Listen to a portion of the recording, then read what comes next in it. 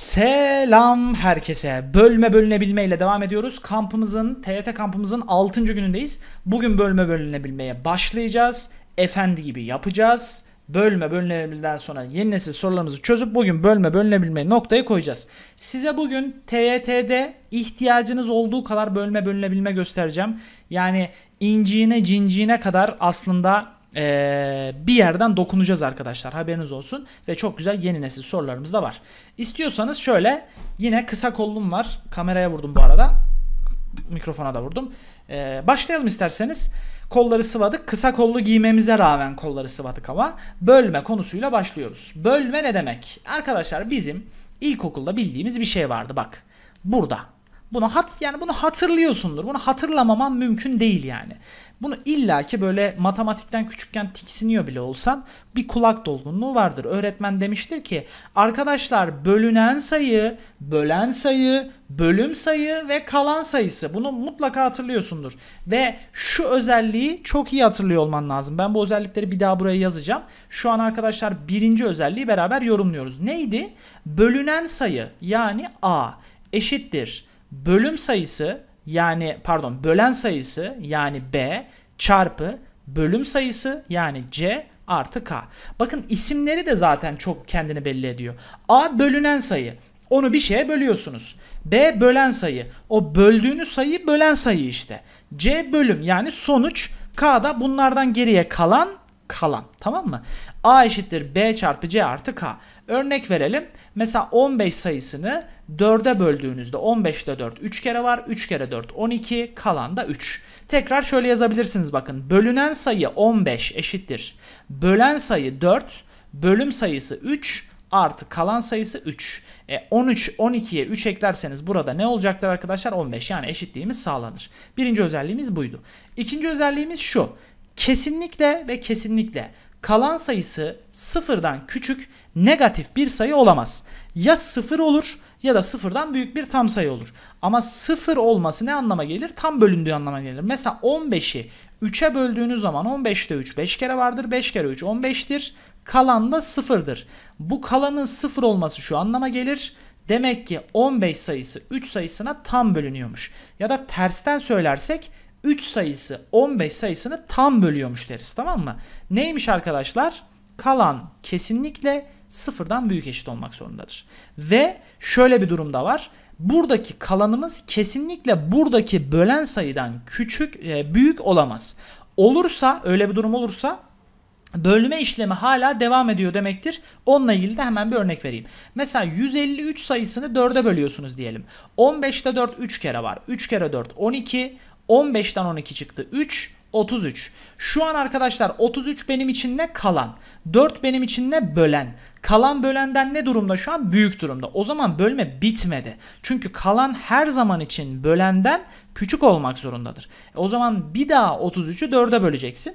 33'te 4 8 kere var. 8 kere 4 32 kalan da 1. Artık kalan bölenden küçük oldu mu? Oldu. O zaman bölme işlemi bitti. Arkana yaslan Netflix aç. O zaman bölen 1 ise kalan 1 ise bölme işlemi bittiyse buradaki en önemli özelliğimize de ne diyoruz? Kalan kesinlikle ve kesinlikle bölenden küçük olmak zorundadır. Bu kalan adamı sıfırdan büyük oluyor ya da sıfıra eşit oluyor ve bölenden kesin küçük oluyor. Üçüncü maddemiz şu arkadaşlar. Kalan sıfırsa A sayısı B sayısına kalansız bölünür. Onu zaten 15 örneğinde az önce söyledim. Dördüncü özelliğimiz de şu. Eğer kalan C'den yani bölümden küçükse B ile C yani bölenle bölüm yer değiştirme özelliğine sahiptir. Onu da hemen şu örnekten görelim. Mesela 17 sayısını kaça bölelim arkadaşlar? 5'e bölelim. 17'de 5 2 kere 3 kere var. 3 kere var. 3 kere 5 15. Kalan kaç? 2. Bak dikkat et. Kalan 2 bölüm, e, bölüm sayısından küçük mü? Küçük. O zaman buradaki 5 ile 3'ün yerini değiştirdiğin zaman bu adama hiçbir şey olmaz. Yani aynı şekilde 17'yi 3'e de bölsen bölen e, bölüm 5'tir, kalan da 2'dir. Yani kalan bölümden küçükse bölenle bölüm yer değiştirebilir. Bunu da örnekte görmüş olduk. Siz eğer yanınızda bir hoca yoksa bir teorik bilgiyle karşılaştıysanız bir özellik gördüyseniz arkadaşlar hemen örneklendirme yöntemine gidin. Örneklendirme matematikte öğrenmenin en önemli ve en kolay yollarından bir tanesidir. Bir formül ya da herhangi bir e, teorik özellik gördüğünüz zaman hemen onunla ilgili bir örnek vermeye çalışın. Çok daha rahat anlamlandıracaksınız ve ee, sorun var bir tane. O soruyla devam ediyorum. A ve B pozitif tam sayılardır demiş. Önemli. Biz sorudaki e, başlangıçlara çok önem veriyorduk arkadaşlar hatırlayın. Pozitif tam sayı demiş. Bölme işlemine göre A'nın en büyük değeri kaçtır? E, neredeyse bir sürü özellik kullanacağız burada. Tabii ki önce kullanacağımız özellik bir. Bölme sorularında e, bölünen sayı eşittir bölen sayı çarpı bölüm artı kalanı çok çok çok fazla kullanacağız arkadaşlar. Bölünen sayı A. Bölen sayı B artı 4. Bunu yazdım. Çarpı bölüm 3 olmuş. Artı kalan da 2B eksi 5. Devam ediyorum işleme. A eşittir. 3 ile B artı 4'ü çarpacağım. Tabii ki içeri dağıtarak çarpıyorum. 3 ile B'yi çarptım. Buradan 3B geldi. 3 ile 4'ü çarptım. 12 geldi. Yanında 2 tane B var. Bir de eksi 5 var. Şimdi A eşittir. B'leri bir tarafta toplarsam 5 tane B. 12'den 5 çıkartırsam artı 7. E baba iyi de B pozitif tam sayı. Okey anladık ama 3 olur, 4 olur, 5 olur, 7 olur, 10 olur, 1 olur, 0 yani her şey olabilir. Bunun sınırı ne? A'nın en büyük değerini soruyor. Bunun sınırı şurada arkadaşlar gizli. 2b eksi 5 yani kalan. Biz ne demiştik şurada? İkinci özelliğin birinci maddesinde kalan her zaman sıfırdan büyük eşitti. Yani şuraya yazarsam 2b eksi 5 her zaman büyük eşit 0. Bu b 5'i bu tarafa şutlarsam 2 tane b her zaman 5'ten büyük olur. Her iki tarafı b'ye 2'ye bölersem b her zaman 5 bölü 2'den büyük olmak zorundadır. Başka şansı yok. 5 bölü 2 5'i 2'ye bölsene. 5'i 2'ye bölersen 4'e bölsen 2, 5'e bölsen 2,5. O zaman B sayısı kesinlikle ve kesinlikle iki buçuk tuhaf hareketler yapıyorum bugün farkındaysanız. Esti bana. B sayısı iki buçuktan büyük olmak zorundadır. Ve bir pozitif tam sayı. 3 olur, 4 olur, 5 olur bir sürü sayı olur. E, ama en büyüğünü soruyor. Gidip 1 milyon mu vereceksin?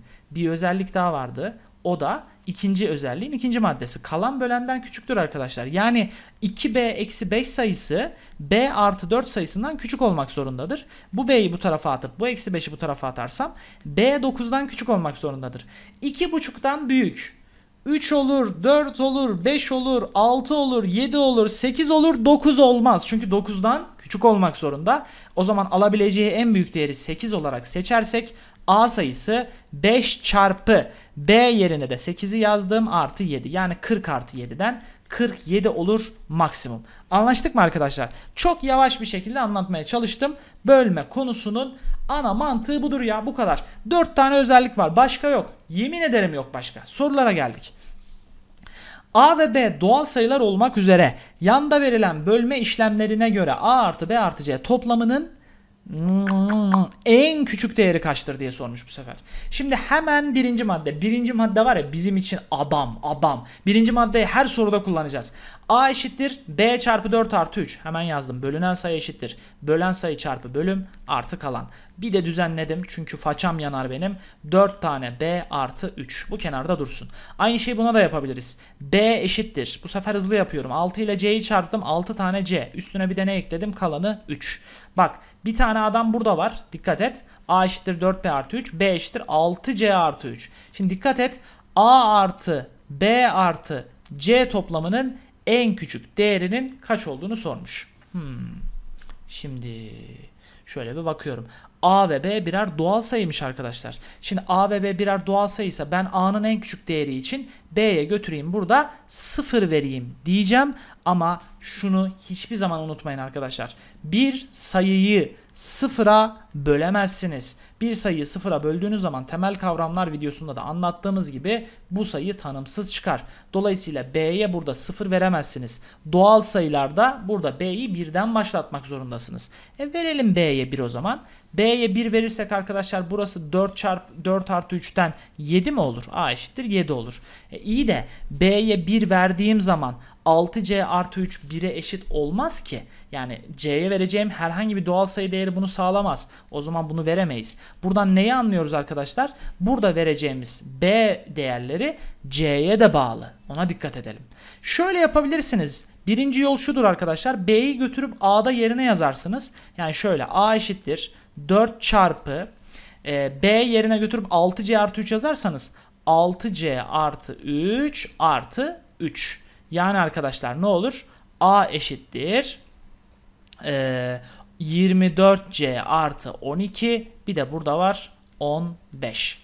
Şimdi buradan A'ya ve C'ye direkt değerler verebilirsiniz. B'nin de sağladığı değeri bulabilirsiniz. Mesela ne verin arkadaşlar burada C'ye? 0 verebilir misiniz? Hayır. Bölen olduğu için veremezsiniz. O zaman 1 verin. En küçük değerini arıyoruz ya. C'ye 1 verirsem arkadaşlar A ne olur buradan? A 24 artı 15'ten 39 olur. E, C'ye de burada 1 verdik. C 1 ise C yerine 1 yazdığım zaman B de burada 6 artı 3'ten 9 olur. B de 9. E, bunların toplamının en küçük değeri 40 artı 9'dan 49 çıkacaktır. Tabi burada şunu da yapabilirdiniz. Hocam ben hiç bunlara girmeden burada 3'ü bu tarafa attığımda 6'nın katı olacak bir değer vereyim. Kaç verebilirim? 9 verebilirim. Bu tarafa attım C1 oldu. C e, B 9 oldu. B yerine de 9 yazarsam A'da 39 oluyor zaten. C'de 1 oluyor gibi de düşünebilirsiniz. Geldim ikinci soruya. A, B, C sayma sayılarıdır. Aman lütfen dikkat edin bunlara bak sayma sayılarıdır. Burada doğal sayı demişti. Burada sayma sayısı demiş.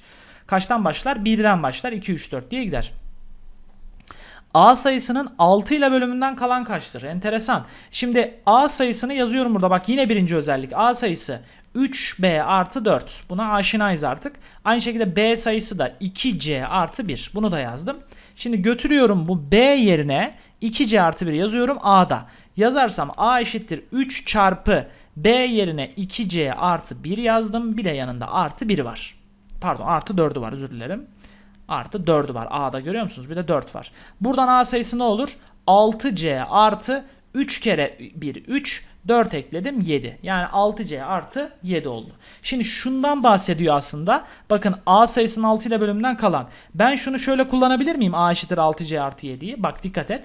A sayısını 6'ya bölmüşüm. Bölüm C olmuş. Kalan 7 olmuş. Yap işlemi A eşittir 6C artı 7. Do bak gördün mü?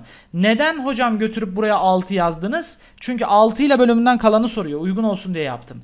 Peki hocam siz bir önceki sayfada demediniz mi? Kalan bölenden küçük olamaz diye. Buradaki 7 nasıl 6'dan küçük oluyor? Haklısın. O zaman 7'yi bir daha 6'ya böleceksin.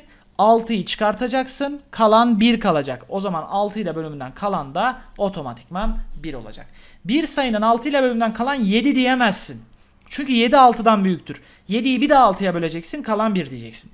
Bir sayının 9 ile bölümünden kalan 15 hocam diyemezsin. Çünkü 15 9'dan büyüktür. 15'i 9'a böleceksin kalan 6'dır hocam diyeceksin. Tamam mı? Unutma bunu. Geldim üçüncü soruya.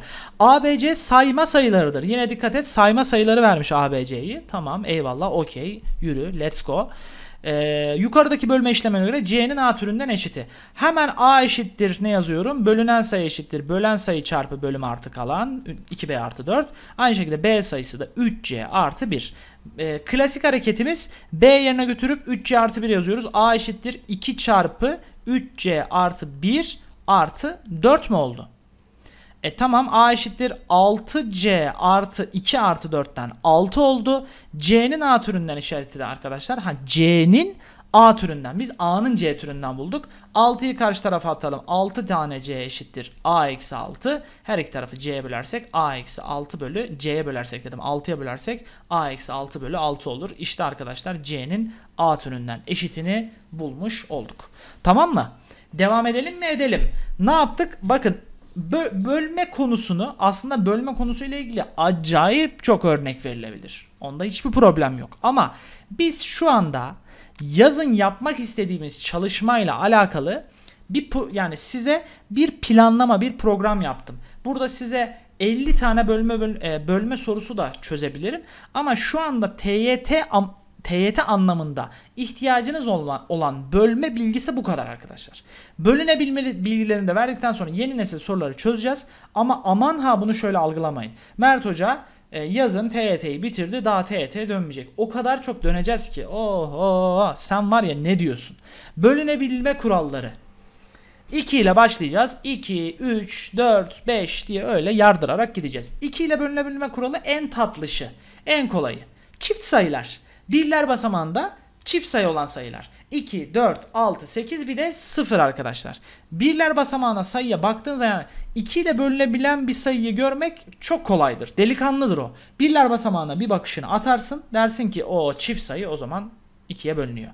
Tek sayıların 2 ile bölümünden kalan 1'dir arkadaşlar. Başka zaten bir sayının 2 ile bölümünden kalan başka bir şey olmaz. Ya 0'dır ya 1'dir. Çünkü bir sayıyı 2'ye böldüğün zaman kalan ondan 2'den küçük olması gerektiği için ya 0 olacaktır ya da 1 olacaktır. Aynı şekilde bir sayıyı 3'e böldüğün zaman kalan ya 0'dır ya 1'dir ya 2'dir. 3 olamaz çünkü. Tamam mı? Şimdi o zaman tek sayıların 2 ile bölümünden kalan 1'dir. Çift sayılar 2'ye tam bölünür. Çünkü çift sayılar 2'nin katı olan 2'ye bölünebilen sayılardır. Hadi örneğimize bakalım. 208x yani 2008x oluyor. Rakamları farklı. 4 basamaklı 2 ile tam bölünen bir sayıdır. Arkadaşlar 2 ile tam bölünen bir sayı ise x'in alabileceği değerler toplamı için 208x dedim. Buradaki x'imizin kesinlikle ve kesinlikle çift sayı olması lazım. 0, 2, 4, 6, 8. Ama soruda köklerde şuna dikkat et. Rakamları farklı demiş. Rakamları farklı dediği için arkadaşlar bu 208'de bir 0 olduğu için x'i 0 alamayız. Burada 2 olduğu için 2 alamayız. Burada 8 olduğu için 8 alamayız. Ya 4 alacağız ya 6. x'in alabileceği değerler toplamı da 4 artı 6'dan kaç çıkacaktır? 10 çıkacaktır. Devam edelim. 2 ile bölünebilme kuralı, 3 ile bölünebilme kuralı. Rakamları toplamı 3'ün katı olan sayılara 3 ile bölünebilen sayılar denir. Neymiş arkadaşlar? Rakamlarını toplayacağız. Eğer o sayı 3 ile tam bölünüyorsa tamam problem yok. Örneğin 371 3 ile bölünebiliyor mu? E böl kardeşim dersen 3717 böl 3737.170 371.702 yani 2 saat bununla uğraşmayacağız herhalde. Bu sayının 3 ile bölünebileceğini, bölünüp bölünemeyeceğini anlamak için bunların rakamlarını toplayacağız. Yani 3 artı 7 artı 1 artı 7 artı 0 artı 2. Bunun 3 ile bölümünden kalana bakacağız işte. 3 7 daha 10. 1 daha 11, 7 daha 18, 2 daha 20. 20'yi 3'e böldüğüm zaman 6 kere var, kalan 2. O zaman bu sayının da 7 3 ile bölümünden kalan 2'dir. Bu kadar basit. Tamam? Çok güzel bir yöntem. Rakamları topla 3'e böl. Tam bölünüyorsa tam bölünüyordur. Kalan neyse sayının da 3 ile bölümünden kalan odur. Şimdi ABC ve 7x1 3 basamaklı sayılardır. 3 ile ABC'yi çarpınca 7x1 ötmüş.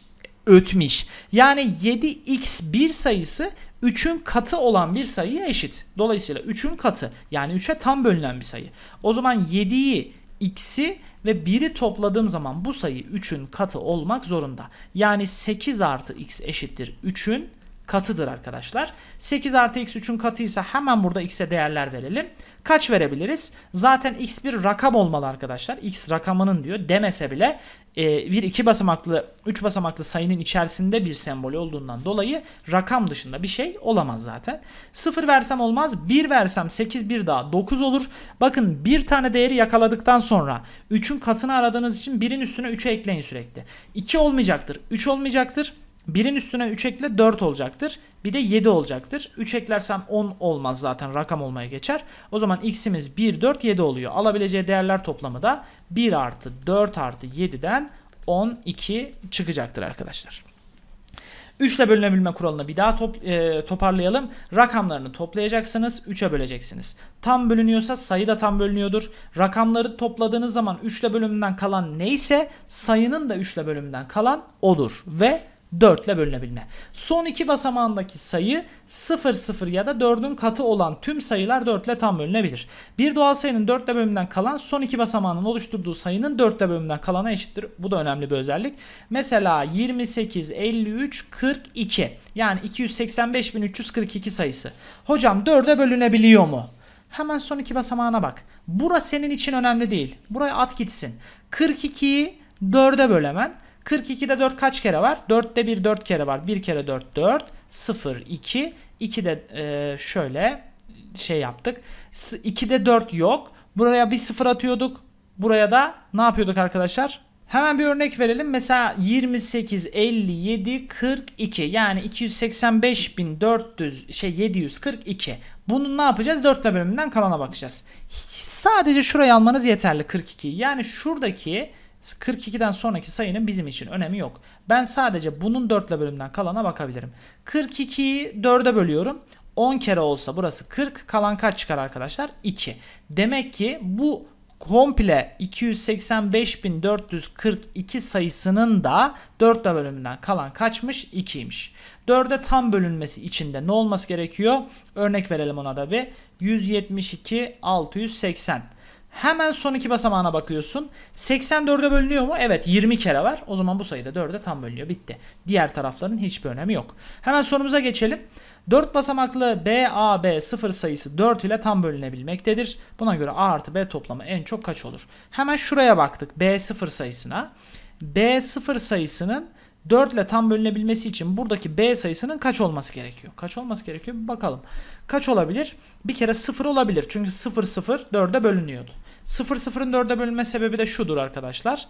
Ee, mesela 100 en küçük 100 ile başlayabiliriz. Son iki basamağı 0 olan. 100'ü 4'e böldüğünüz zaman zaten direkt tam bölünür. Ee, Şuraya 0 yazalım. 25 olur. E 1000'i de 4'e bölebilirsiniz. 1000'i 4'e bölerseniz 250. 10.000'i 4'e bölerseniz 2500. O şekilde yani son iki basamağı. E hocam burası 1700 olsa fark etmez. 1700'ü de 4'e bölersin. Çünkü iki defa 2'ye bölünebilen bir sayı. Dolayısıyla son iki basamağı 0 olursa da 4'e tam bölünür. O zaman B'ye 0 verebiliriz. B'ye kaç verebiliriz? 10 bölünmez 2 verebiliriz. 20 bölünür. 40 bölünür. 60 bölünür ve 80 bölünür. Ama dikkat ederseniz 4 basamaklı B, A, B 0 olduğu için buradaki B'ye 0 gelemez. Çünkü o zaman 0 bir şeyler olur. Bu bir 4 basamaklı sayı olmaz. 0'ı götürdük. Rakamları farklı demiş mi? Dememiş. Problem yok. 2, 4, 6, 8 olabilir. E tamam en çok diyorsa o zaman B'yi kaç seçelim? 8 seçelim. Ne yani çok diyorsa 8 alalım. Peki A?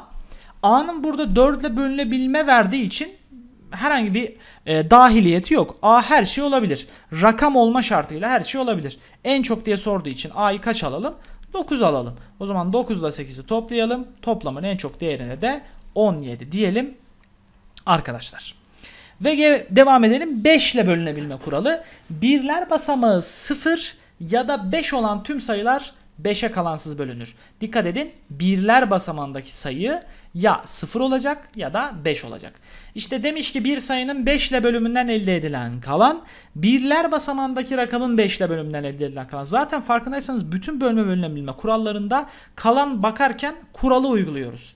Tam bölünme kuralında kuralı uyguladığımızda kalan neyse sayının kalanı da o oluyor. Şimdi e, zaten buna aşinayız biliyoruz. 275 mesela 5 ile tam bölünür. 370 tam bölünür. Ama 262 tam bölünmez. Kalan kaçtır? Birler basamandaki sayı 2. 2'yi 5'e böldüğünüz zaman hocam 2 5'e bölünür mü? Bölünür. 2'yi 5'e bölelim hadi gel. 2'de 5 0 kere var. 0 kere 5 0 kalan 2.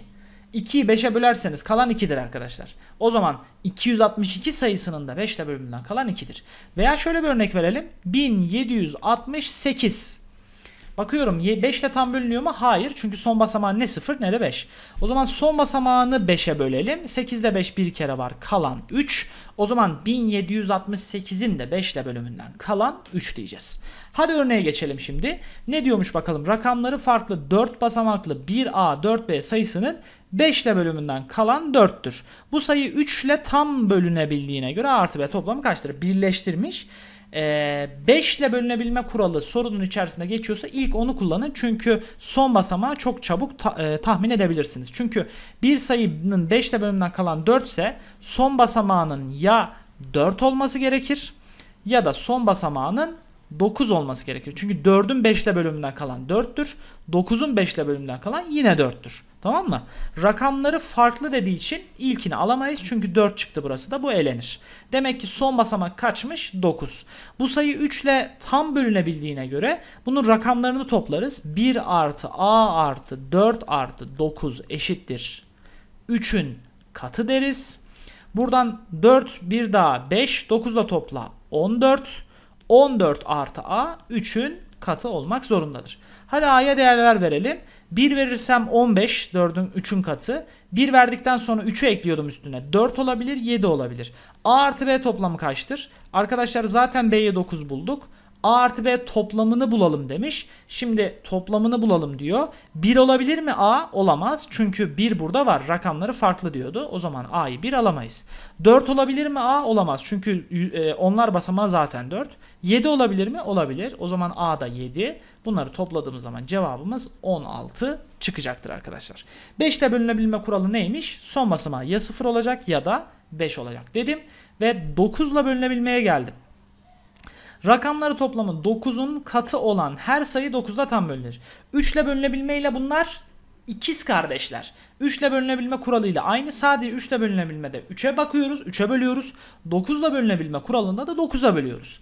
Yani nasıl bir sayı mesela? 25.672. 9 ile bölümünden kalana bakacağız. Hemen rakamlarını topluyorum. 2 artı 5 artı 6 artı 7 artı 2. Toplarsam ne olur? 2, 7, 14. 14'e 6 ekledim. 20, 22. Bir kere tam bölünmez. Çünkü 22 9'a bölünmüyor. Hemen 22'yi 9'a bölelim. 2 kere var. 18 kalan kaç? 4. Kalan 4 ise demek ki bizim sayının da 9'la bölümünden kalan 4 olmak zorundadır. Hemen örneğe geçelim. 5 basamaklı 2A, B, 3, 4 sayısı 9'la tam bölünüyor. Buna göre A artı B toplamının kaç farklı değer alacağını sormuş. Hemen rakamları topluyorum. 2, 3 daha 5, 4 daha 9. Yani 9 artı A artı B dediğimiz adam ne oluyormuş?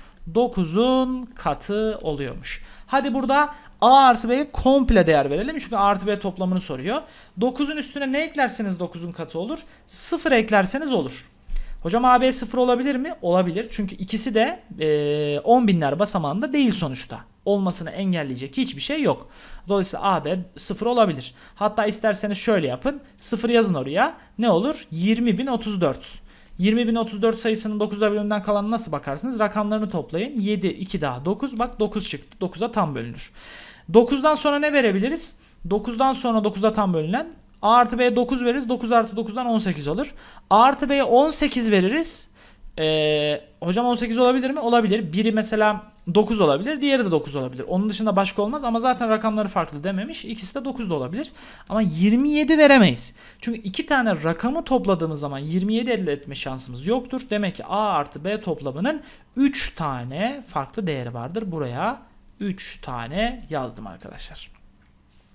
9'a bölünümle kuralı neymiş? Rakamlarını topluyorsunuz. 9'a tam bölünüyorsa o sayıda 9'a bölünür dedim ve 10'la bölünebilme kuralına geçtim. Bu da 5 ile ikiz kardeş. Ama bu 5'ten daha net.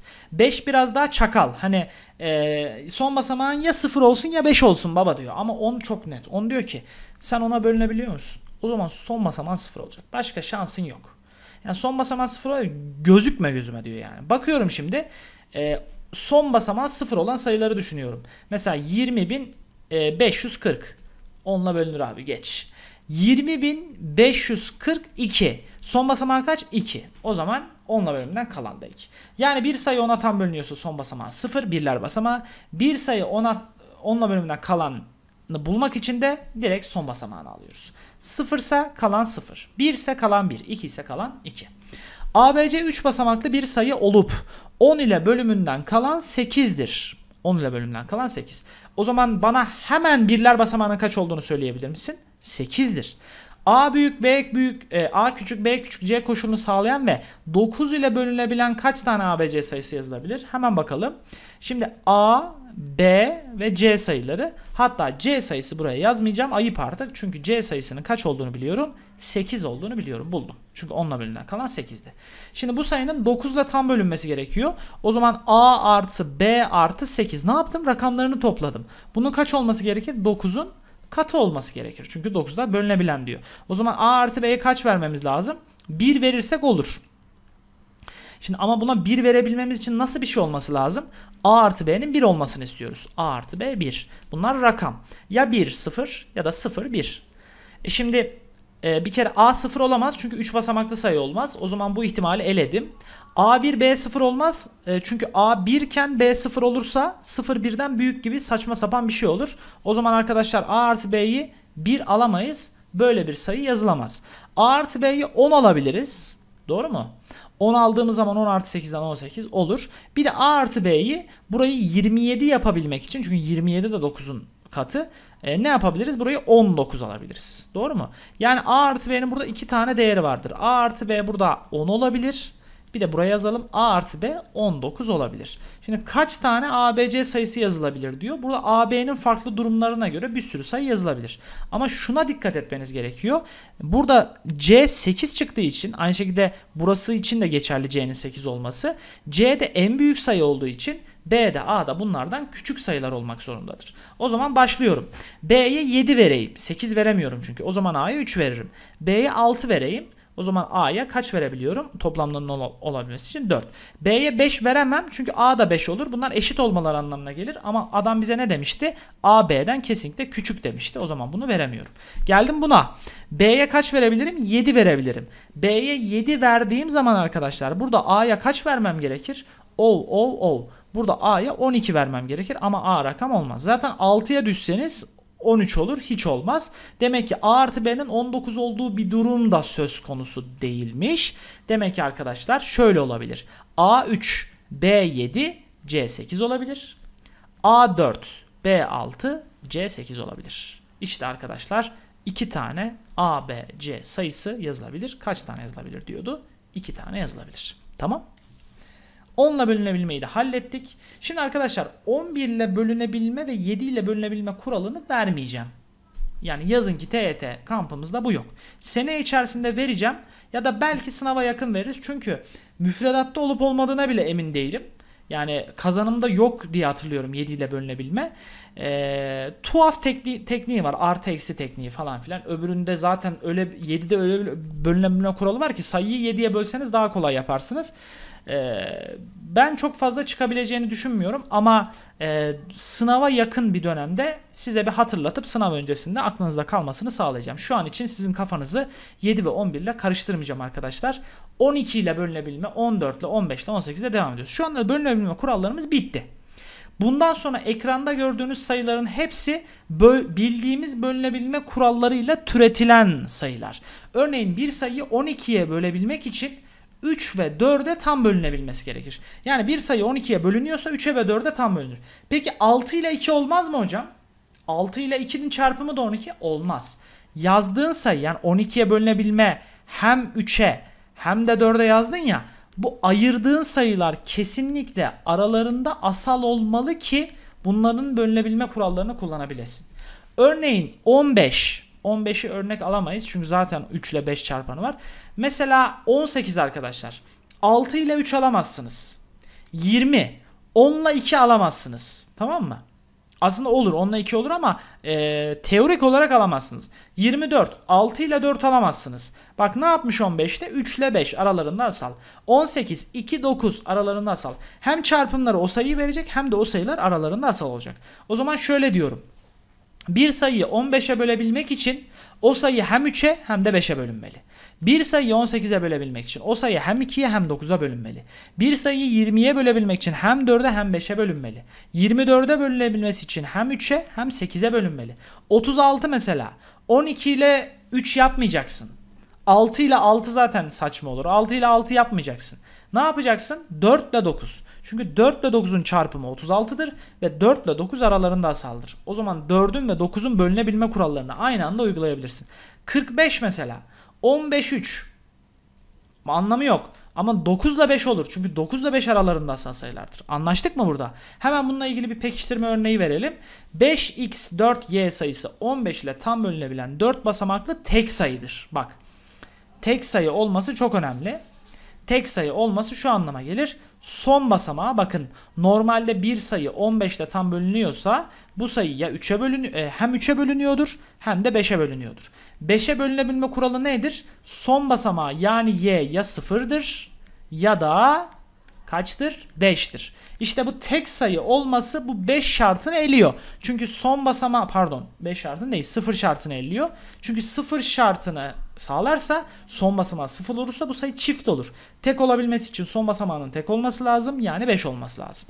O zaman sayının son basamağını bulduk. 5 x 4 5. Tamam mı? E bunun 3 ile bölümden da tam bölündüğünü biliyoruz. 3'e bölümden kalan olmadığını, 0 olduğunu biliyoruz. Rakamlarını toplayalım. 5, 5 daha 14 daha 14. 14 artı x'in 3'ün katı olması gerekiyor. Hadi k'ya x'e değerler verelim. 14'e 1 eklersem 3'ün katı olur.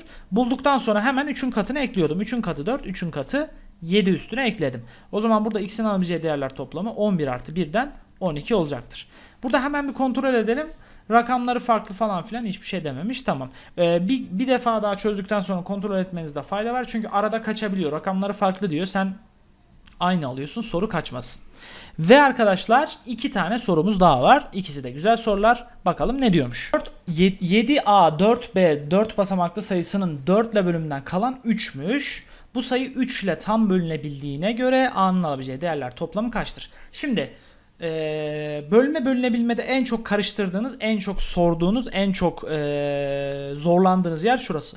Hocam bana 2 tane 3 tane bölünebilme kuralı ile ilgili bir şey veriyor sorun içerisinde. Ben hangisinden başlayacağım? Yani 3 ile bölünebilmeyi mi kullanmalıyım önce 4 ile bölünebilmeyi kullanmalı mı kullanmalıyım diye soruyorsunuz. Ben de şöyle söylüyorum. 3 ile bölünebilme ve 9 ile bölünebilme rakamların toplandığı durum her zaman sona bırakılmalı. Çünkü rakamları bulabildiğiniz kadar bulmalısınız önce. Yani rakamları topladığınızda içinde ne kadar bilinmeyen varsa sizin için o kadar kötü. Ama 4 ile bölünebilme kuralında direkt rakamı bulabilirsiniz. Bir sayının 4 ile bölümünden kalan 3 ise son iki basamağından oluşan sayının 4 ile bölümünden kalan 3'tür. Yani 7A 4B sayısındaki şuradaki 4B'ye odaklanırsak ben bu B'yi bulurum abi. B'ye 0 versem 4'e tam bölünür. B'ye 1 versem 41'in 4 ile bölümünden kalan 1'dir. B'ye 2 versem 42'nin 4 ile bölümünden kalan 2'dir. B'ye 3 versem 43'ün 4 ile bölümünden kalan 3'tür. Yani burada B'ye 3 verebiliriz.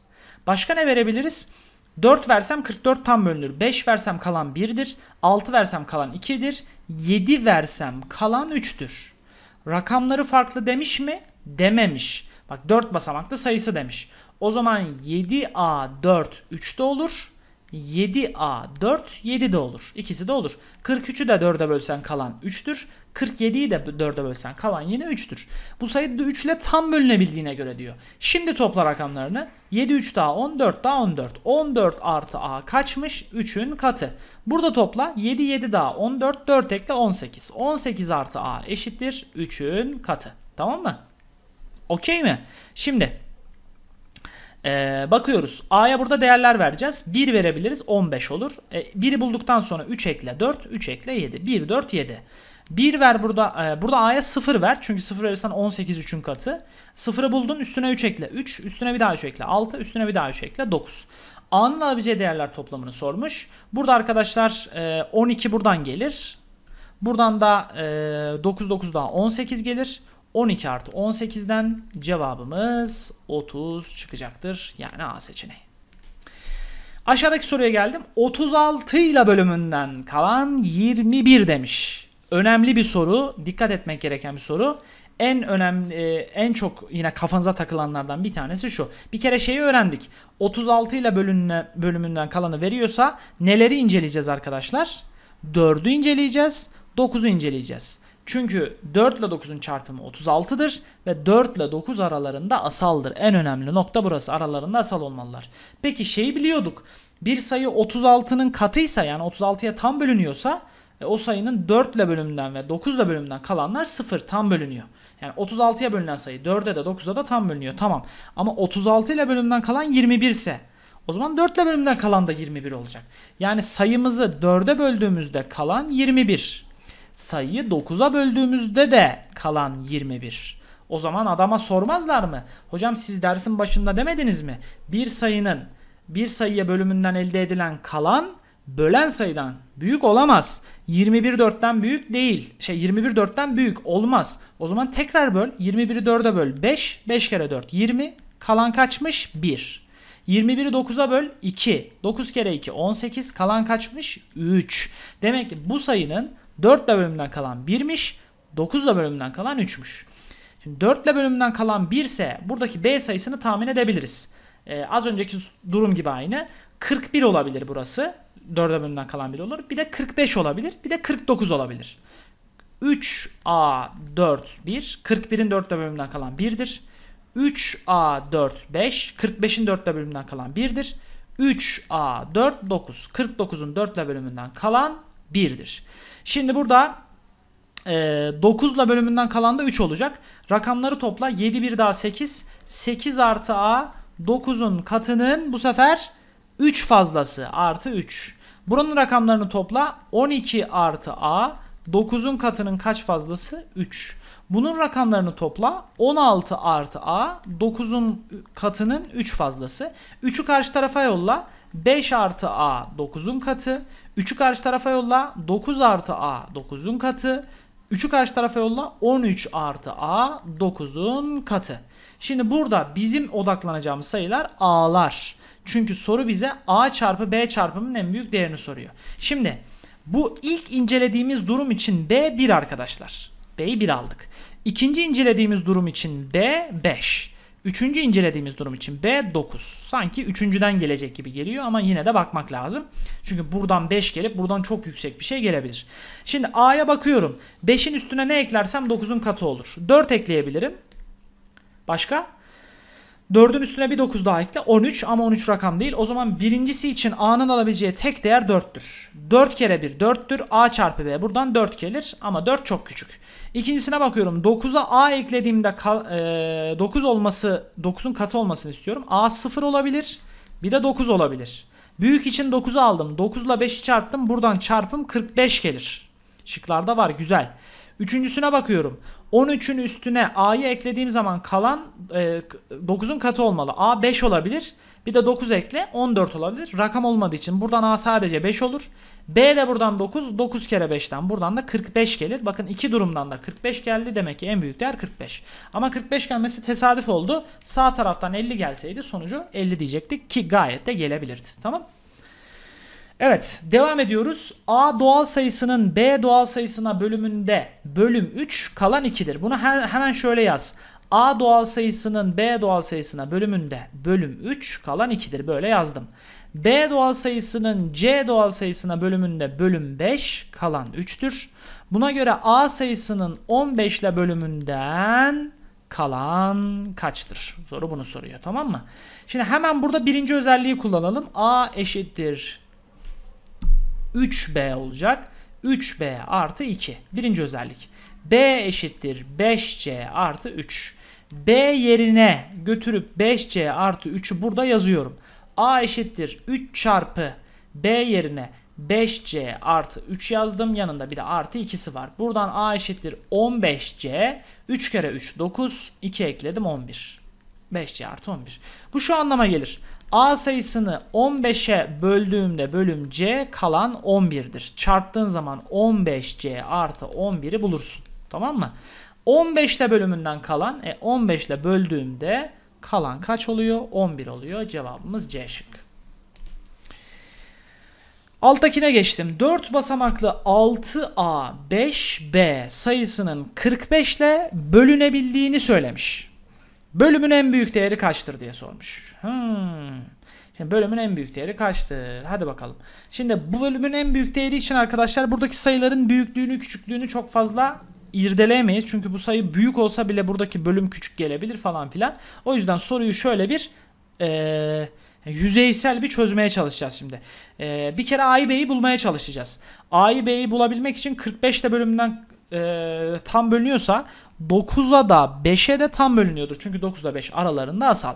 Bir sayı 5'e tam bölünüyorsa son basamağı ya 5'tir 5A 5 5 ya da 6A 5 0'dır. Ya kalan e, tam bölünüyorsa 5'e ya son basamak yani birler basamağı 5 ya da 0'dır. 9'a da tam bölündüğünü söylemiş. Rakamları toplayalım hemen. 16 artı A eşit 9'un katı. Rakamları toplayalım hemen. 11 artı A eşittir 9'un katı. 16'ya ne eklersem 9'un katı olur? 2 eklersem. 16'ya ne eklersem 9'un katı olur? Pardon 11'e 7 eklersem. Demek ki birinci kısımdan gelen sayı 6255. ikinci kısımdan gelen sayı da 6750 arkadaşlar. İkisini de 45'e bölüp en büyük değerini bulalım bölümün. Kaça bölüyorum? 45'e. 62'de 45 bir kere var. Bir kere 45 45. E, 62'den 45 çıktı 17. 17'de 145 yok. 175'te 45. Bu arada kesin tam bölünmeli ha. Tam bölünmüyorsa patladık. Hata yaptık demektir. 175'i 45'e e, böldüğüm zaman 3 kere olsa 135, 4 kere olsa 180. Demek ki 3 kere var. 135. 170'ten 135 çıkarsa 40 kalır. 45'i buraya denizsem 405 olur. Arkadaşlar 10 kere olsa 450 demek ki 9 kere var. 139 geldi gördüğünüz gibi. Buradan. Şimdi 6750'yi bölelim. Zaten şıklarda yok. Gördüğünüz gibi 135 yok. Demek ki cevap ya 142 ya da 150 çıkacak mantık olarak. 6750 mi dedik? Kaça bölüyoruz? 45'e mi? 67'de 45 bir kere var. Burası 45. Çıkardım. 20 olsa 65, 22. 22'de 45 yok. 225'te 5 kere mi var? 4 kere olsa 3 kere olsa 135, 4 kere olsa 180, 5 kere olsa 125. 5 kere var. Burası 225. Sıfırı da aynen buraya koydum. 200 şey 150 zaten cevap E. 6750'den başlasaydım direkt cevabı ne olduğunu görebilirdim. Çünkü en büyük şıktı zaten. Direkt işaretlerdim. Ama ben böyle şeylerde çok şanssızımdır arkadaşlar. Hep sonda yaptığım gelir. Ama sizin için güzel oldu. En azından 139'un da olmadığını görmüş oldunuz. Yeni nesil sorulara hazır mısınız? Gelsin. Geldi bakalım. Yukarıda 4 tane farklı 4 basamaklı yukarıda 4 tane farklı 4 basamaklı sayıdan oluşan kart numarasına sahip bir kredi kartı gösterilmiştir. Kart numarası 4 basamaklı, rakamları farklı, 4 farklı sayıdan oluşmaktadır. Yani bunların hepsi kendi içerisinde rakamları farklı e, ve bu sayılar da hep birbirinden farklı sayılar. Ve 4 basamaklı sayılar soldan sağa, soldan sağa sırasıyla 2, 3, 4 ve 5 ile tam bölüneme, tam bölünebilmektedir. 2 ile bölünebiliyor, 3 ile bölünebiliyor, 4 ile bölünebiliyor ve 5 ile bölünebiliyor. Of kredi kartında limit kalmadı benim ya bu aralar. Ee, kredi kartının şifresi A, B, C, D 4 basamaklı sayısı olduğuna göre kart şifresinin 9 bölümünden kalan kaçtır? Yani A'yı, B'yi, C'yi ve D'yi bul diyor. Hadi bakalım başlayalım. Şimdi birinci durumda 2 ile tam bölünüyorsa A sayısının alabileceği değerler ne olur arkadaşlar? 0 olur, 2 olur, 4 olur, 6 olur, 8 olur. Ama zaten 2, 4, 6 olduğuna göre 2, 4, 6 olduğuna göre 2, 4, 6 bunları sileceğiz. Çünkü rakamları farklı diyordu hepsi birbirlerinin kendisinin için, içinde. 0 olabilir, 8 olabilir. 0 da olamaz çünkü kredi kartının şifresi ABCD 4 basamaklı sayısı. A'ya burada 0 gelir mi? Gelmez. O zaman A'yı 0 da alamayız. A sayısı kaçmış arkadaşlar? 8'miş. Güzel A'yı bulduk. Geldim B'ye şimdi. Rakamları topluyorum. 3, 4 daha 7, 1 daha 8. 8 artı B eşittir 3'ün katı.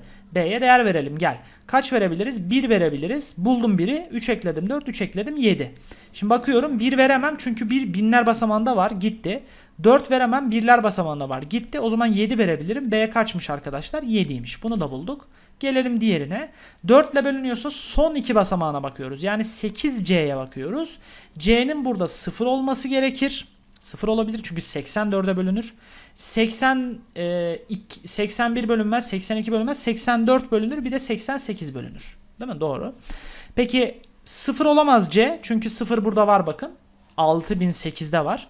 O zaman 0 olamaz. 4 olabilir, 8 de olamaz çünkü o da onlar basamağında var. Demek ki C sayısı kaçmış? 4'müş. Gelelim D sayısına şimdi. 5 ile bölünecek. O zaman D sayısı ya 0'dır ya da 5'tir. Çünkü 5 ile tam bölünüyor. D sayısı 0 olamaz çünkü yüzler basamağı 0 elenir. 5 kalır geriye. D de 5'miş. O zaman bizim şifremiz 8745.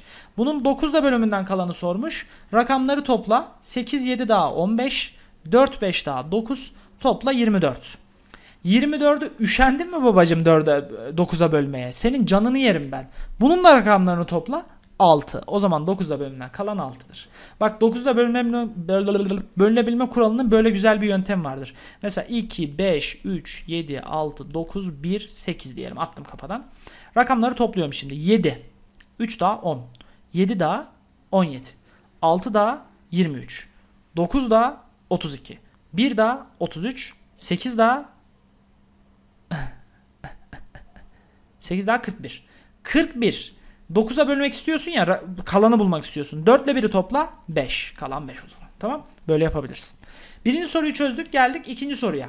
Ve üçüncü soruya. İki tane sorumuz var. Anıl dükkanına tanesi 30 TL olan şu hareket çok önemli.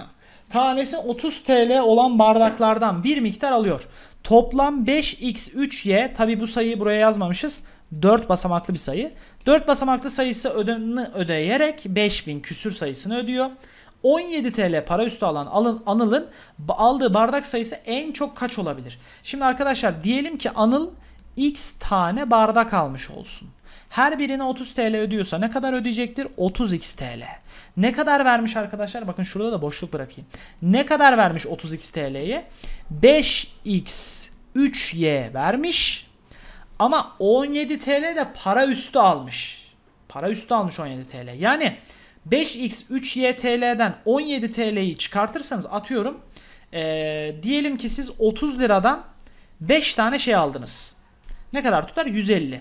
Siz e, 17 TL para üstü alıyorsanız bu 150 TL tutan şeye demek ki siz 17 TL fazla vermişsiniz ki adam size 17 TL'yi geri veriyor. Anladınız mı? Yani demek ki bu 5x 3y buradaki 30x'ten 17 fazlaymış. Yani 30x artı 17'ymiş benim bu verdiğim para. Bu tarafa atarsam tam 30'a bölümden kalanı bulurum. Tamam mı? Demek ki bizim dikkat edin 5x 3y sayısının 30'la bölümünden kalan 17'dir. Çünkü buradaki x adet belirttiğine göre bir miktar diyor. Tanesi bu kadarlardan tane alıyor. Demek ki e, 3 tane, 5 tane, 10 tane, 20 tane tane belirtiyor. Demek ki 30'un bir tam katının 17 fazlası. 30 deyince aklıma ne geliyordu hemen? 10 geliyordu. 3 geliyordu. Çünkü 10 ile 3'ün çarpımı 30. 10 ile da 3 aralarında asal. Bir sayının 10 ile bölümünden kalan 17 ve 10 ile bölümünden kalan o, o e, özür dilerim. Bir sayının 10 ile bölümünden kalan 17 ve 3 ile bölümünden kalan 17. Böyle bir şey olmaz. Kalan her zaman bölenden küçüktü. O zaman 17'yi hemen 10'a böldünüz. Kalan kaç? 7. O zaman 10 ile bölümünden kalan 7'dir. 17'yi 3'e böleceksiniz. Rakamlarını topla 8. 8'i 3'e bölünce kaç çıkar? 2. Demek ki 17 ile bölümünden kalan da 3 ile bölümünden kalan da 2. 10 ile bölümünden kalan 7, 3 ile bölümünden kalanın 2 olması lazım. Bir sayının 10 ile bölümünden kalan 7 ise o sayının son basamağı kesinlikle 7'dir. O zaman 5x3 7. Y'yi bulmuş olduk. Y'yi de şuraya yazalım. Y eşittir 7. E şimdi 3 ile bölümünden kalan 2 ise rakamları topla. 15 daha 15. 15 artı x. Arkadaşlar buradaki x'e x demeyelim bu arada. Bu x ile karışmasın. A tane diyelim. Karışmasın. A tane aldım. 30 a artı 17 olsun karışmasın. 15 artı x eşittir. 3'ün katının kaç fazlası? Duyamadım. Kaç fazlası? 2 yazıyor değil mi burada? 2 fazlası. At bu tarafa 13 artı x eşittir. 3'ün katı olmak zorunda mı abicim? Evet. Şimdi hadi buraya değer verelim. 2 verirsem tam 15 oluyor. 2'yi buldum üstüne 5, 3 ekledim 5. Üstüne bir daha 3 ekledim 8. O zaman x'ler 2, 5, 8 oluyor. Bardak sayısı en çok kaç olabilir diye soruyor. O zaman bardak sayısının en çok olması için ödediğim miktarın en çok olması lazım. E, x'e 8 verelim o zaman. 5837. Ama bu 17 TL para üslü hali. 17'yi çıkartırsanız 5820 olur bardak sayısının toplamı. E bir tane bardağa 30 TL veriyorsa bunu 30'a böldüğüm zaman bardak sayısını bulurum. 58'de 30 bir kere var. Buraya 30 yazdım. 28'de 30 yok. 282'de 30 kaç kere var? E, 8 kere olsa 240. 9 kere olsa 270. O zaman 9 yazacağız buraya. 9 kere var 270. 12 kalır.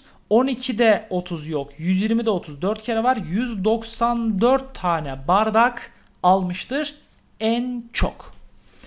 Gelelim üçüncü soruya. Sıfırdan fark anladınız değil mi bu soruyu? Bakın güzel bir soru. Lütfen dikkat edin. Dikkat dikkat. Üçüncü soru. Sıfırdan farklı olan tüm rakamlarına tam bölünebilen sayılara bölümlü sayı denir. Hmm. Sıfırdan farklı olan tüm rakamlarına tam bölünecek sayı. 2, 3, K4 sayısı bölümlü sayı olduğuna göre kalınabileceği değerler toplamı. Demek ki bu sayı e, bütün rakamlarına tam bölünecek. 2'ye de, 3'e de, 4'e de, K'ya da. Şimdi bir sayı 2'ye tam zaten 2'ye bölünüyor. Onda bir sıkıntı yok. Çünkü burada 4 var. 2'ye tam böl e, son basamağı çift. 2'ye bölünüyor zaten. Onu incelememize gerek yok. Ama 3'ü incelemeliyiz. 4'ü de incelemeliyiz. Şimdi bir 4 ile başlayalım. Her zaman için ne diyorduk? 3, 3 ve 4 varsa, 3 ve 5 varsa, 3 ve 10 varsa, 9 ve 4 varsa, 9 ve 10 varsa, 9 ve 5 varsa her zaman 9 ile 3'e sona bırakıyorsunuz. 4'ü, 5'i, 10'u yapıyorsunuz. 4'ü yapıyoruz o zaman. Şimdi 2, 3, K4 sayısı 4 ile tam bölünüyorsa K sayısı 0 olabilir. Çünkü 0, 4, 4'e bölünür. 2, 3, 0, 4. K sayısı 4 olabilir. 2, 3, 4 e, pardon 2 olabilir özür dilerim. 2 olabilir. 2, 3, 2, 4. 24 de 4'e bölünür. Hatta biraz bunları uzak yazayım ki biraz yazacağız gibi. 2, 3, 0, 4 yazdım. 2, 3, 2, 4 yazdım. 2, 3, 4, 4 yazdım. Çünkü 44 de bölünür. 2, 3, 6, 4 yazdım. Bir de 2, 3, 8, 4. Çünkü 84 de tam bölünür. Devam edelim arkadaşlar. Şimdi bu sayının bir de 3'e de bölünmesi lazım. E, çünkü bölümlü sayı olduğu için bütün basamağındaki sayılara tam bölünecek. Hatta sıfırı da almamız gerekiyor ama sıfırdan farklı dediğimiz için sıfırı es geçiyoruz. Bu sayı 3'e bölünüyor mu? 5, 4 daha 9. 3'e bölünüyor. O zaman bu bir bölümlü sayıdır. O zaman K 0 olabilir. K'nın alacağı değerler toplamının bir tanesi 0. Buraya geldik şimdi. 2, 3, 2, 4. Şimdi 2 2 tane 2 var. E, ikilere bölünmesi lazım. Rahatım zaten. Son basamağı 4 olduğu için 2'ye bölünüyor. 3'e bölünüyor mu? Rakamları topla. 2 3 daha 5, 2 daha 7, 4 daha 11 bölünmüyor. O zaman bu sayı bölümlü olamaz zaten. Geçtik. Ee, 2 3 4 var. 4'e zaten bölünüyor. 2'ye zaten bölünüyor. 3'e bakmamız gerekiyor. 2 3 daha 5, 4 4 daha 8, 5 ile 8'i topladım. 13. 13 4 3'e tam bölünmez. Bu da bölümlü sayı olamaz. Bölümlü sayı olamayacağı için K'yı 3 alamayız. Dikkat et. E, K'yı 4 alamayız. Burada da 2 alamayız. Evet 6'ya tam bölünmesi lazım. O zaman zaten 2'ye tam bölündüğü için 3'e de tam bölünüyorsa 6'ya zaten bölünüyordur. O zaman ne yapalım? Rakamlarını toplayalım. 2 3 daha 5. 6 4 daha 10. 15 daha. Burası kaç çıktı? 15.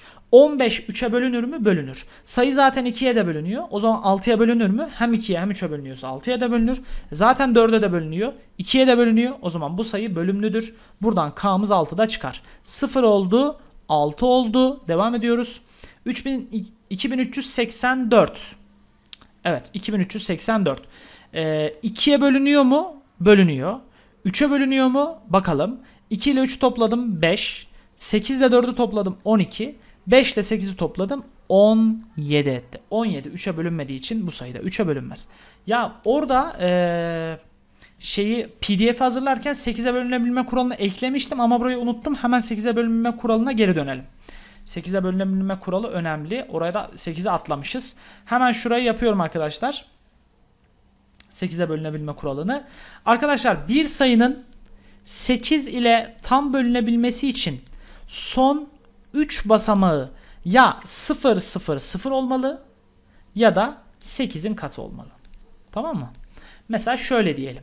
2785 bu sayının 8 ile bölümünden kalanına bakmak için 785'e bakmanız yeterli. 785 sayısı 8'e bölünüyorsa bu sayı 8'e bölünüyordur. 8'e bölünmüyorsa sayı 8'e bölünmüyordur. Bunun da kısa yöntemleri var arkadaşlar. Mesela 8'e bölünen bir sayı her sayı 4'e de bölünmek zorundadır. O yüzden 4'e bölünmeye bakabilirsiniz. Ama 4'e bölünmek 8'e bölünmeyi garanti etmez.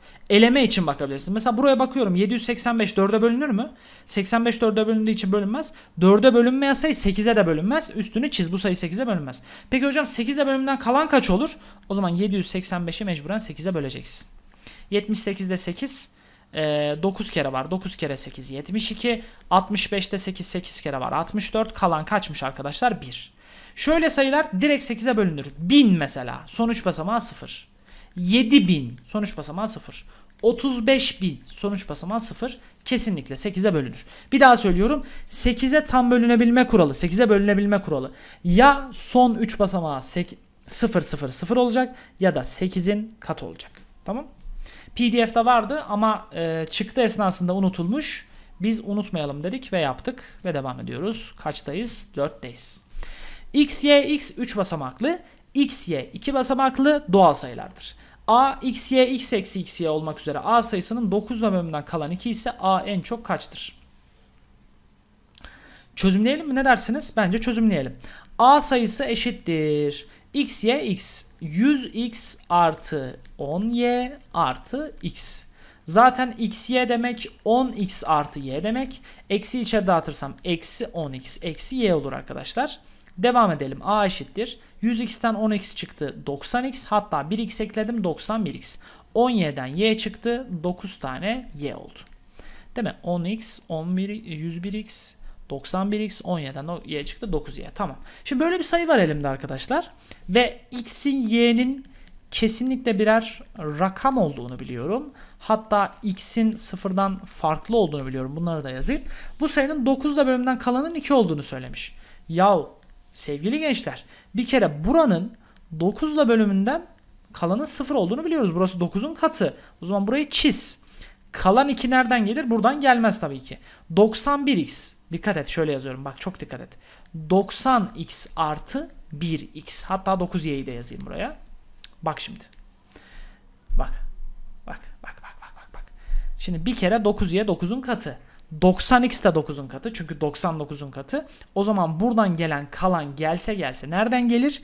X'ten gelir. Demek ki x kaçmış? 2'ymiş. 9'un katının 2 fazlası olması için. Demek ki x 2. Peki a en çok kaçtır diyor. y kaç olacak? y ne olursa olsun. a'nın en çok olması için y'nin en çok olması lazım. y'ye verebileceğin maksimum değer 9. 9 ver o zaman. O zaman a sayısını yazıyorum. x y x yani 292 eksi x y yani 29. 292'den 29 çıkartacağım. 292 eksi 29. 12'den çıkarttım kaç kaldı arkadaşlar? 3 kaldı. 8'den çıkarttım. 8 eksi 6, 2'den 6. Kaç oldu? 263. Demek ki sevgili gençler 263 olabiliyormuş. A'mız en fazla. Max yazayım şuraya da. Max. Tamam. A pardon. Pardon. Beşinci soru var. X, x, e, x diyorum. İki basamaklı bir x, y doğal sayısına sayısına rakamları toplama eklenince A sayısı, aynı sayıdan rakamları toplamı çıkarılınca B sayısı elde ediliyor. Buna göre yargılarından hangileri doğrudur? Şimdi x, y doğal sayısına rakamları toplamı yani A sayısı şuymuş. x, y sayısına rakamları toplamı olan x artı y'yi ekliyoruz. B sayısı şuymuş. x, y'den rakamları toplamını mı çıkarıyoruz? Aynen. x artı y'yi çıkartıyoruz. Şöyle. Tamam devam edelim. Burayı sayı çözümleme yapacağız. Burası 10x artı y. E 1x burada 1y de burada. Burası 11x artı 2y olur. Buraya bakalım. Burası yine 10x artı y. E, bir tane x çıkarttım 9x. Y'ler zaten birbirini götürdü. Burada x'imiz kesinlikle sıfırdan farklı bir rakam. Çünkü x, y doğal sayı diyor. Tamam mı? O zaman 9x kesinlikle 9'un katı. E 9x b'ye eşit. Demek ki b 9'un katı. A artı B sayısı X ile tam bölünebilir. Taraf tarafa toplarsam arkadaşlar A artı B 11X ile 9X'i topladım 20X artı 2Y. 20X artı 2Y'yi de 2 parantezinde 10X artı Y de yazarım. 10x artı y de arkadaşlar 10 e, a, xy sayısının çözümlenmiş halidir. Yani burası xy sayısının iki katıdır aslında a artı b. a artı b xy sayısına tam bölünür. Tabii ki tam bölünür. iki katı. 2 katı olduğu için tam bölünür. Doğru. A eksi B sayısı x, y sayısını tam böler. A'dan B'yi çıkartalım bu sefer. A eksi B. Şimdi zaten A 11x artı 2'ye B'yi çıkartırsam 11'den 9'u çıkarttım. 2x artı 2'ye. E bu iki parantezinde x artı y olur. Ben bu 2 x artı y'nin 2 kat olmasından x y sayısını tam böleceğini falan çıkartamam. Bu yanlış. A çarpı B sayısı tektir. Hadi buna bakalım. A ile B'yi mi çarpacağız? Çarpalım. 11x ile 9x'i çarptım. 99x kare. Sol alta yazıyorum dikkat edin. Ee, 2y ile 9x'i çarptım. Burası da 18xy. Şimdi sağ taraf eyvallah. 18'in katı olduğu için kesinlikle ve kesinlikle çift sayıdır. Ama x'in tekliğini çiftliğini bilmediğim için 99'da 1 tek sayı olduğu için tek sayıyla çifti çarparsam çift, teki çarparsam tek olur. Dolayısıyla a çarpı b sayısının tekliğini çiftliğini söyleyemem. Doğru cevabımız yalnız bir yani a şıkkı olmalıdır sevgili gençler.